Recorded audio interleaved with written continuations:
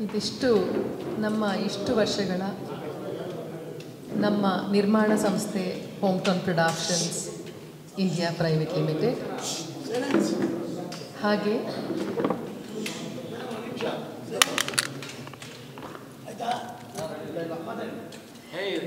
non profitable organisation Hoovu foundation for arts ಇದರ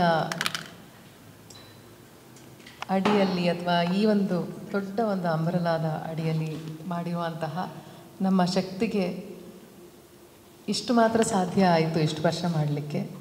ಇನ್ನು ಮುಂದುವರಿಲಿಕ್ಕೂ ನಮಗೆ ಇನ್ನೂ ಸಾಕಷ್ಟು ನಮಗೆ ಶಕ್ತಿ ಬೇಕು ಪ್ರೋತ್ಸಾಹ ಬೇಕು, ಸಹಕಾರಗಳು ಬೇಕು, ನಿಮ್ಮೆಲ್ಲರ ಪ್ರೀತಿ ಬೇಕು.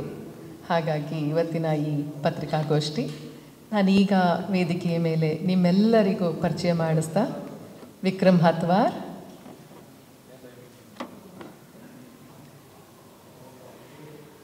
ಒಂದು ಯುವ ಪೀಳಿಗೆಯ ಬರಹ ಬರಹಗಾರರಲ್ಲಿ ಕನ್ನಡ ಈ ಭಾಷೆಯಲ್ಲಿ ಅತ್ಯಂತ ಹೆಸರನ್ನು ಅಥವಾ ಖ್ಯಾತಿ ಅನ್ನೋಕ್ಕಿಂತ ಒಂದು ಕಂಟೆಂಪ್ರರಿ ರೈಟರ್ ಅಂತ ನಾವೇನು ಹೇಳ್ತೇವೆ, ಆ ಕಂಟೆಂಪ್ರರಿಯಾಗಿ ಇವತ್ತಿನ ಬರಹಗಾರರಲ್ಲಿ ಹೆಸರು ಮಾಡ್ತಿರೋರು ವಿಕ್ರಮ್ ಹತ್ವಾರ್.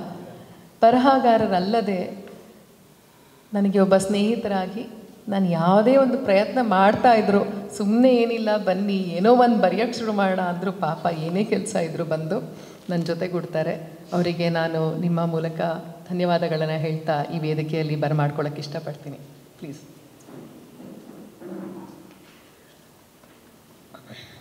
ಒಂದು ಕನಸು ಒಬ್ರದ್ದು ಆಗಿದ್ರೆ, ಆ ಕನಸನ್ನು ನನಸು ಮಾಡಬೇಕಂತ ಹೇಳಿದ್ರೆ ಹಲವಾರು ಕಾರಣಗಳು ಬೇಕು, ಹಲವಾರು ಮನಸ್ಸುಗಳು ಬೇಕು. ಸಹೃದಯಗಳು ಬೇಕು, ಪ್ರೀತಿಸುವಂಥವ್ರು ಬೇಕು. ಅಂಥದ್ರಲ್ಲಿ ನನ್ನ ಈ ನಿರ್ಮಾಣ ಸಂಸ್ಥೆ ಆಗಬೇಕು. ಇದರಿಂದ ಇಂತಿಂತಹ ಕಾರ್ಯಕ್ರಮಗಳು ನಿರ್ಮಾಣ ಆಗಬೇಕು ಅಂದಾಗ ಮೊಟ್ಟ ಮೊದಲಿಗೆ ನನ್ನ ಮನಸ್ಸಿನ ಜೊತೆ ಮನಸ್ಸು ಕೂಡಿಸಿದವರು ನನ್ನ ಕಿರಿಯ ಸಹೋದರ ಅರವಿಂದ್ ರಾಮಣ್ಣ. ನನ್ನ ತಮ್ಮ, ನನ್ನ ಜೊತೆಯಾಗಿ ಪ್ರತಿ ಹೆಜ್ಜೆಯಲ್ಲೂ ಇರುವಂಥವನು, ಅವನಿಗೂ ಸಹ ನಾನಿವತ್ತು ಈ ವೇದಿಕೆಯಲ್ಲಿ ಬರಮಾಡ್ಕೊಳ್ಳೋಕ್ಕೆ ಇಷ್ಟಪಡ್ತೇನೆ.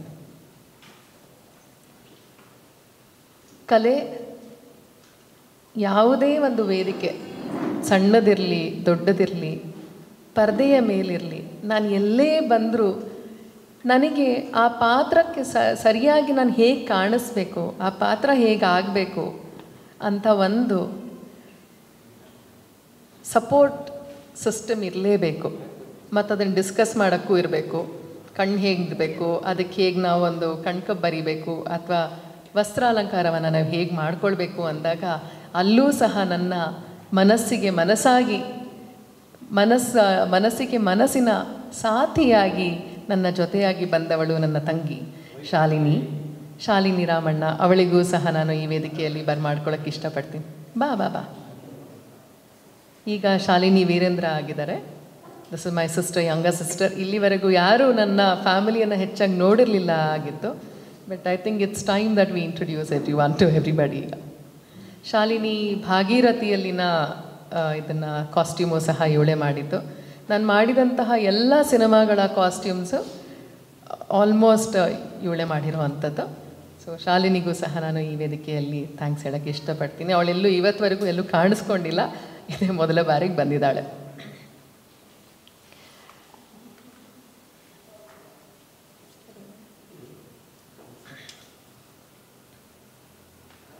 ಇದೆಲ್ಲ ನಮ್ಮ ನಿರ್ಮಾಣ ಸಂಸ್ಥೆಗೆ ಸಂಬಂಧಪಟ್ಟಿರುವಂಥದ್ದು. ಈ ಹಂಸಗೀತೆ ಬಗ್ಗೆ ಮಾತಾಡೋಕ್ಕಿಂತ ಮುಂಚೆ ನಂದು ಒಂದು ಎರಡು ಸಣ್ಣ ಪಾಯಿಂಟ್ಗಳಿದೆ. ಯಾಕಂದರೆ ಎಷ್ಟೋ ಜನ ಇಲ್ಲಿ ಬಂದಿರೋರಲ್ಲಿ ಈ ಥರದ ಒಂದು ಕಲಾ ಪ್ರಕಾರಗಳಲ್ಲೂ ಆಸಕ್ತಿ ಇರೋರು ಅಂತ ಅನ್ನೋದು ನನಗೆ ಅನಿಸುತ್ತೆ. ಹಾಗಾಗಿ ವೇದಿಕೆಯಲ್ಲಿ ಹೇಳುವಂಥದ್ದು ಎರಡು ಮಾತುಗಳನ್ನು ನಾನು ಹೇಳಲಿಕ್ಕೆ ಇಷ್ಟಪಡ್ತೀನಿ. ಸಿ ಎಸ್ ಆರ್ ಫಂಡ್ ಅಂತ ಇದೆ.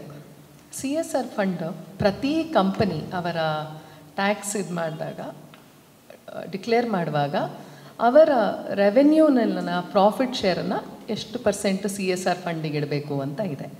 ಆದರೆ ಆ ಸಿ ಎಸ್ ಆರ್ ಫಂಡಲ್ಲಿ ಏನಾಗಿದೆ? ಸರ್ಕಾರ ಹೇಳಿರೋ ಏನಂತ ಹೇಳಿದ್ರೆ, ಕೇಂದ್ರ ಸರ್ಕಾರದಲ್ಲಿಂದನೇ ಬಂದಿರೋ ಅಂಥದ್ದು ಅಲ್ಲಿ ಯಾವ್ದ್ಯಾವುದಕ್ಕೆ ಸಿ ಎಸ್ ಆರ್ ಫಂಡನ್ನು ಉಪಯೋಗಿಸ್ಬೇಕು ಅಂತ ಅವರು ನಿಖರವಾಗಿ ಅದನ್ನು ಹೇಳಿಬಿಟ್ಟಿದ್ದಾರೆ. ಅದು ಯಾವುದ್ಯಾವುದಕ್ಕೆ ಉಪಯೋಗಿಸ್ಬೇಕಪ್ಪ ಅಂತ ಹೇಳಿದ್ರೆ ವಿದ್ಯಾಸಂಸ್ಥೆಗಳಿಗಾಗಲಿ ಅಥವಾ ಅಂಗವಿಕಲರಿಗಾಗಲಿ ಈ ರೀತಿಯಾಗಿ ಮಾತ್ರ ಅದನ್ನು ಉಪಯೋಗಿಸ್ಕೊಳ್ಬೇಕು ಪರ್ಟಿಕ್ಯುಲರ್ ಆಗಲಿ ಶೋಷಿತ ವರ್ಗಕ್ಕೆ ಮಾತ್ರ ಹೋಗಬೇಕು, ಯಾವ ಶೋಷಿತ ವರ್ಗ ಆಗಬೇಕು ಅಂತ ಈ ರೀತಿ ಈ ನಿಟ್ಟಿನಲ್ಲಿ ಅದನ್ನು ಕ್ರಮಬದ್ಧವಾಗಿ ಅದನ್ನು ನಿಖರವಾಗಿ ತಿಳಿಪಡಿಸಿರೋದ್ರಿಂದ ಪ್ರತಿಯೊಬ್ಬ ಖಾಸಗಿ ಸಂಸ್ಥೆ ನಾವೆಲ್ಲೋ ಹೋಗಿ ಕಲಾ, ಈ ರೀತಿಯ ಕಲಾ ಪ್ರಕಾರಗಳ ಕಾರ್ಯಕ್ರಮಗಳನ್ನು ಮಾಡಬೇಕು.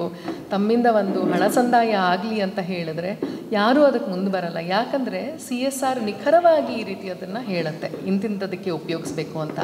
ನನ್ನ ಈ ವೇದಿಕೆಯ ಮೂಲಕ ಕೇಂದ್ರ ಸರ್ಕಾರ ಇಲ್ಲಿವರೆಗಿನ ನಮ್ಮ ಹಣಕಾಸು ಸಚಿವರಾದಂತಹ ಶ್ರೀಮತಿ ನಿರ್ಮಲಾ ಸೀತಾರಾಮನ್ ಅವರಲ್ಲಿ ನನ್ನ ಒಂದು ಬೇಡಿಕೆ ಎಲ್ಲ ಕಲಾವಿದರ ಪರವಾಗಿ ಅಂತ ಹೇಳಿದ್ರೆ, ಆ ಸಿ ಎಸ್ ಆರ್ ಫಂಡಿನ ಒಂದು ಅಥವಾ ಎರಡು ಪರ್ಸೆಂಟು ಕಲೆ ಮತ್ತು ಕಲಾವಿದರ ಪೋಷಣೆಗಾಗಿ ಇಡಬೇಕು ಅನ್ನೋಂಥದ್ದನ್ನು ದಯಮಾಡಿ ಅವರು ನಿಖರವಾಗಿ ಆ ಪಟ್ಟಿಯಲ್ಲಿ ಹಾಕಲಿ ಅನ್ನೋದನ್ನು ನಾನು ಈ ಮೂಲಕ ಹೇಳಲಿಕ್ಕೆ ಇಷ್ಟಪಡ್ತೀನಿ. ಇನ್ನು ಇವತ್ತಿನ ಹಂಸಗೀತೆ. ನೀವೇನಾದರೂ ಫಸ್ಟ್ ಹೇಳ್ತೀರಾ? ಆಮೇಲೆ ನಾನು ಮಾತಾಡ್ತೀನಿ. ಅಥವಾ ಹೇಳಿಬಿಡಲ್ಲ?